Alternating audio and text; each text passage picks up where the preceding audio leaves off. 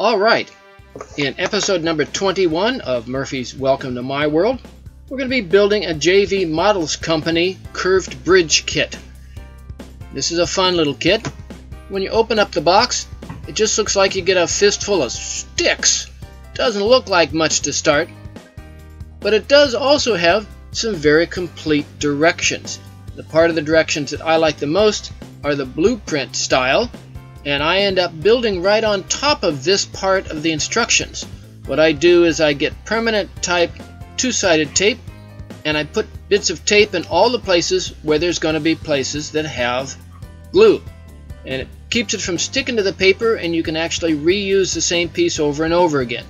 So what you do is you put the double-sided tape on, you start putting your sticks right on top of it, you add a little bit of glue, and the picture tells you exactly where to put the different parts. Tells you what size and exactly where to put them. Well, while we're talking about glue, let's talk a little bit more about it. Use the absolute least amount of glue possible whenever you're putting together a model. You can always come back and add more, but you can't take it off once it's there. Speaking of taking off, when you remove it from the double-sided tape, be very, very gentle. It's not very strong yet, so be easy.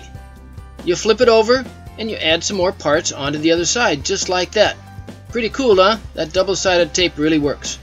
One of the things you have to decide on is what kind of bridge do you want? What do you think about the topography is underneath? And you make the supports to the right height of what you want your bridge to end up being. So you got to spend a little time thinking before you start building. Now, as far as planning goes, here's my favorite bridge information book from the nice folks at Model Railroad magazine. And so this is one of my references. Get one. Of course, being a curved bridge, you're going to have to figure out what arc of a curve that you want. So think about where it's going to go, figure it out, and then you mark it on a piece of paper so you have the curve just the way you want it. Doesn't have to be all the way the same. You can change it in the middle if you want.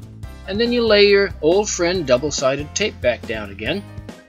Then you put on the original and this is upside down. Keep in mind that you're building it upside down. See all those little pieces that are going on there? The best tool that you can possibly have to make repetitive, accurate cuts is a Chopper 2 by the Northwest Shortline folks. That's the best tool I have. You need to get one. Okay, now you've got all the cross ties there, and it's starting to look like something. The next thing you have to do is make, well, what I like to call a glue lam. It's a number of pieces of wood that you glue together at the correct arc. And this is going to be the support for the rail of the track that you're going to be putting across. So it has to be exactly right and then you glue it on. Of course the next step is gluing all of the supports onto the bottom, onto the rail support. You want to make sure that they're evenly spaced and very symmetrical. Now you're starting to add the cross members. This is ones that run down in the middle, so you have to get them right. Once you get all these cross members in the right place, then you start adding these outside bits of wood that hold everything in place. Once again, the Chopper 2 is invaluable to make all these accurate, repetitive cuts. Then the last thing you really got to do is make the walkway and make these boards for the walkway an appropriate length for the scale, whatever scale that you're working on. And then you're almost done. The next question, of course, is what are you going to color it with? I like to use a nice stain. Some people stain all their wood before they start working on it. Some people stain their wood after the project's done like I do. It's kind of personal preference, whichever way you want. But of course, you want to use the least amount of glue possible because every place you got glue, it's not going to take the color. Well, there it is. You have another wonderful project project completed. Thanks for coming and joining us here at Murphy's Welcome to My World.